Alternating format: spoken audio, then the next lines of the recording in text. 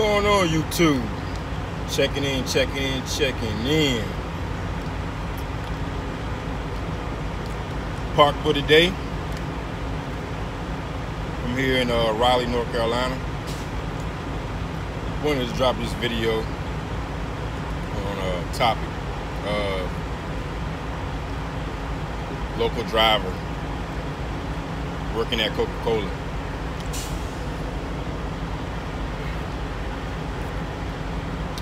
Now, I'm dropping this video because I got a lot of emails uh, asking about it.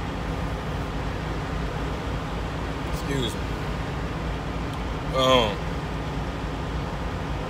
yes, I when I started out, when I got my CDL, I started out as a local driver working at Coca-Cola. That was my first job as a truck driver. Um, but a lot of people don't understand that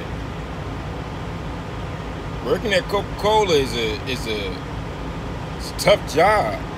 Um, for one, you got to empty out the, empty out the whole trailer. So you take into the stores and all that good stuff. Um, and you're filling up the coolers. Um, very tiring job. I think by time got up, we had to be there at five o'clock. We didn't we didn't uh, finish till about I mean we didn't finish till about five six o'clock depending on traffic. Um, it was a good first job, um, and you can you know you made about well the pay was different. Each state is different. Each Coca-Cola is different in each state. The way it worked at the state I was in, which was Virginia, was that you got paid by the cases.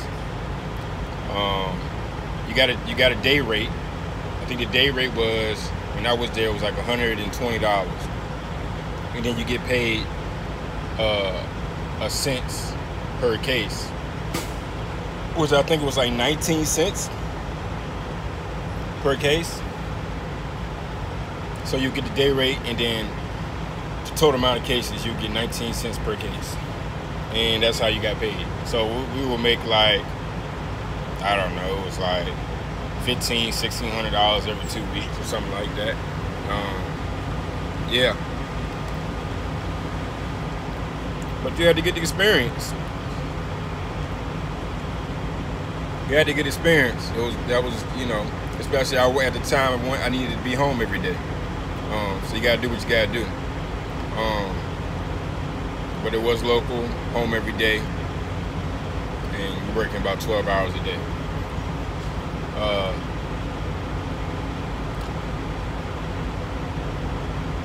that's pretty much the lifestyle of a local driver. Yes, as a local driver, you will burn out your clock almost every day. Um, that's how it is. That's just what it is.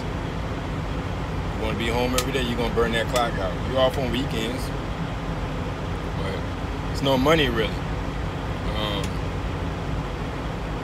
it's kind of almost like you might as well be a warehouse worker. But like I said, it's all, trucking's all about the experience. If you don't know that, then you better find out. Uh, pretty much once you got two years experience, you pretty much do what you want to do. Um, but be be cautious though. You do decide to go local first. When you do try to come to owner operator or even OTR, your local experience your local experience is nothing. I think they consider it like three months OTR or something like that. Um, you all know that if you want to become owner operator, you want to lease onto a company, they're going to need a year year over the road. Uh, well, some of them be like six months. I've seen six months, but majority is like a year before you can, you can lease on lease a truck onto a company. Um, so be mindful of that. It's all about what you want to do with your life. All this local, all this local, but all this local versus OTR it, it doesn't matter, man. It's all about what you want to make and how you want to how you want to work to make it. It's pretty much that's it. But just want to drop that little video about local driver and uh, working at Coca-Cola. Bit of the pay scales. Really not much to talk about about Coca-Cola. I mean, it is what it is. But catch on next video.